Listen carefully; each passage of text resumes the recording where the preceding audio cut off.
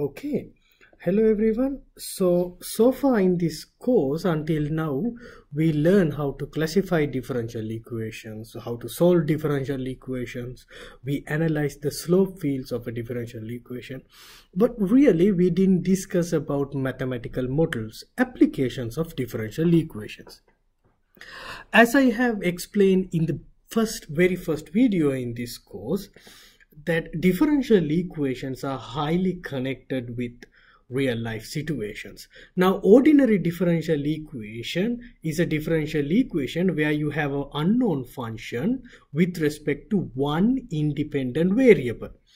Now, that's the simplest differential equations. But differential equations altogether generally can have many variables like I, like our real life situations. If you want to build a car if you want to build a car engine then the work that you work that engine does and the heat that engine absorbs those things are variables. Your mental health the variables to your mental health are your rest, your workload, your pressure coming from your school, your family background.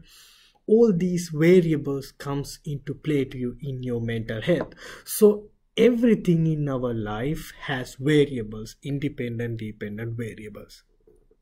And I don't think you will be surprised if I say that most of these real life phenomena is modeled by differential equations. Now, how to build up a mathematical model? That's a question. So there are several steps. We have to identify these variables, dependent, independent variables. We have to identify them. And not only variables, there could be some factors that affecting your model, affecting your, not the model, but the real life phenomena. Then you make observations, you make assumptions, hypotheses. Okay, so if you want to make a car, you identify the variables that affect your car engine. Okay then you make observations you do surveys you make hypotheses. You're gonna assume assume how the heat's going to flow how the oil going to work and you're going to come up to a situation where you have to compromise. Okay you cannot build a perfect engine where you know you don't waste any energy and it works like a superman. It doesn't work. Right so you have to come come to a compromisation. And then you formulate the mathematical model. You solve the mathematical model or you build a, a build an engine a model engine and you see whether this model engine works. Right you look at the product output of this engine. And you know if it is not satisfying you know you're gonna go back and you change your hypothesis change your assumptions and reformulate the model and then present the product right? So the same thing happens in mathematics also. You write an equation with assumptions and then you know you're gonna solve it and you look at the data that is given and then you compare your solution and you make a comparison how good or bad your solution is then you're going to change or keep your equation depending on it. Okay? So in this course uh, in this week we are going to learn about six or seven mathematical models the first mathematical differential equation that we're going to learn is Newton's law of cooling.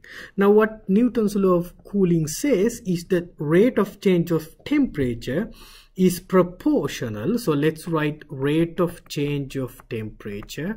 Capital T is the temperature lower case t is the time is proportional to the difference between its own temperature so we are talking about an object, a body, something is proportional to the difference of its object temperature and the ambient temperature. So T is the temperature of the object at time T and T sub M is the ambient temperature which we call the temperature of the surrounding or the environment temperature. So you have a cup of coffee, you bring it to the room. So T sub M is the temperature of the room, surrounding environment temperature. So to make this proportionality to a equal, we have a proportionality constant K. So that's a factor. That's not a variable, right? So that's the difference between factor and a variable. We have variables here, temperature and time. Now we have the factor K. Now factor K is the uh, proportionality constant and it depends on material properties of the object. So like how, how the temperature spread in a wood, how the temperature spread in a metal faster right in a metal. So those things will be taken into the account in this model by simple k. So let's look at some examples. So here in the example you buy a coffee in the library a hot coffee and you bring it outside where the outside is a cold winter day. So now we have our differential equation k t minus t sub m. Now what is the surrounding temperature? It says the temperature outside is 2 fahrenheit 2 degrees. So outside temperature is 2 fahrenheit. You bring this cup of coffee outside. So your environment temperature will be not the temperature inside the library but the temperature outside the library which is 2 so our t sub m or the ambient temperature is 2 right? Okay, that's good. So we have the differential equation. Now usually I forgot to mention that proportionality constant we assume it to be negative no matter what is the situation. Okay, so remember k is negative. Now let's see what happens. So you bring this cup of coffee to outside. What should happen? The coffee is hot and the outside is cold, right? So what happens is the coffee is going to cool down right? So the rate of change of temperature should be what? It should be negative because the temperature should be going down. Is it negative? Well, K is negative. We know that. T, capital T is the temperature of the coffee. So what is the temperature of the coffee? It's definitely higher than 2 degrees, right? 2 degrees is the outside temperature. Coffee is definitely higher than 2. So 2 T minus 2 is positive, right? t minus 2 is a positive number. So negative times positive you have negative as the output so your rate of change of temperature is negative that means the temperature is going to cool down. Now the other thing is how far this coffee can go. What is the minimum temperature that coffee can achieve uh, in this environment? Can it go to freezing like negative 20 degrees? No, right? It cannot go below 2. Okay, we are going to discuss this in broad manner in future videos. Um, but the the eventual temperature we call it the eventual temperature that means after long time let's say you spend thousand years outside and all the time the temperature outside is 2 degrees coffee can go up to 2 degrees but nothing less because the environment is 2 degrees. We call it the eventual temperature.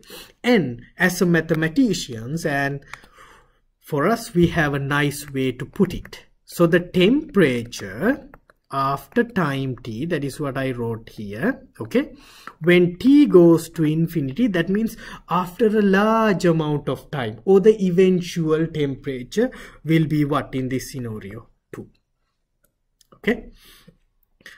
All right.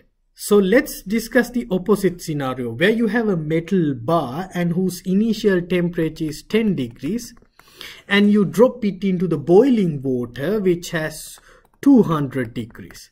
Now what's going to happen to the metal bar is it's going to increase the temperature right? So the temperature will rise. So your rate of change of temperature should be positive right temperature is increasing. But how far metal can go? Again what is the eventual temperature?